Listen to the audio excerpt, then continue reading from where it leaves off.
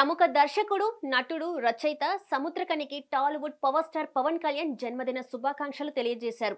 దీంతో పాటు పీకే ఎస్డిటి చిత్ర బృందం కూడా బర్త్డే విషెస్ తెలియజేసింది. ఈ నేపథ్యంలో సముద్రకని గురించి ఇప్పుడు తెలుసుకుందాం. అలా వైకుంఠపురంలో సినిమాతో టాలీవుడ్లో పాపులర్ అయిన నటుడు దర్శకుడు సముద్రకని క్రాక్తో బిజీ అయ్యారు. కానీ అంతకుముందు తమిళంలో నటుడిగా మారిన టాలెంటెడ్ ఫిల్మ్ మేకర్ కూడా. వెట్రిమారన్ చిత్రానికి దర్శకత్వం వహించిన విసరణయ్యలో తన పాత్రకి ఉత్తమ సహాయ నటుడిగా జాతీయ అవార్డుని గెలుచుకున్నాడు.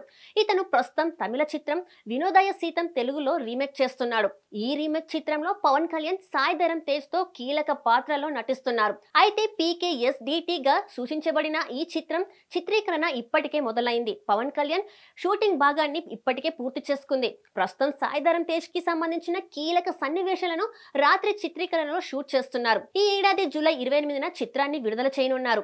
ప్రముఖ దర్శకుడు రచయిత నటుడు సముద్రకని ఇటు తెలుగు అటు తమిళ చిత్ర పరిశ్రమలో తనకంటూ ప్రత్యేక గుర్తింపు దక్కించుకున్నారు. నటుడిగా జాతీయ స్థాయి పురస్కారాన్ని అందుకున్నారు. భీమ్లా నాయక్ చిత్రంలో ఒక ముఖ్య భూమిక పోషించారు. ఈ నేపథ్యంలో శ్రీ మూగాంబిక అమ్మవారి భక్తుడైన సముద్రకని ఆ జగజ్జనిని ఆశిష్యులు ఎల్లవేళలా ఉండాలని ప్రార్థిస్తున్నానని కోరుతూ పవన్ కళ్యాణ్ సైతం బర్త్డే విషెస్ తెలియజేశారు. అయితే ఈ రోజు సముద్రకని పుట్టినరోజు సందర్భంగా పీకే ఎస్టీటీ కలయికలో సన్నివేశాన్ని చిత్రీకరిస్తున్న సమయంలో సముద్రకని మానిటర్ని వీక్షిస్తున్న వర్కింగ్ స్టిల్స్ చిత్రబృందం ఈ మేరకు విడుదల చేసింది. ఈ క్రమంలో టీం అతనికి జన్మదిన శుభాకాంక్షలు తెలియజేసింది. ప్రముఖ దర్శకుడు కె. బాల్చందర్కి సముద్రకని శిష్యుడు. బాల్చందర్ పర్యవేక్షణలో సన్ టీవీలో ఎన్నో మెగా సీరియల్స్కి పనిచేశారు. అతను నాడోడిగల్తో దర్శకుడిగా పేరు తెచ్చుకున్నాడు. ఆ తర్వాత తెలుగులో అల్లరి నరేష్తో శంభో శివశంభో చిత్రాన్ని దర్శకత్వం వహించారు.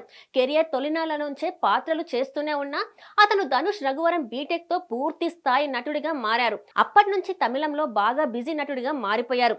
అలా వైకుంఠపురంలో క్రాక్తో తెలుగులో కూడా బిజీ అయ్యాడు. పీకే ఎస్టీటీకి దర్శకత్వం వహించడమే కాకుండా అతను ప్రస్తుతం భారతీయుడు టూలో కూడా ఒక ముఖ్యమైన పాత్రను చేస్తున్నాడు. ఈ వీడియోపై మీ అభిప్రాయాన్ని కామెంట్ రూపంలో తెలపండి. మా ఛానల్ని సబ్స్క్రైబ్ చేసుకోండి.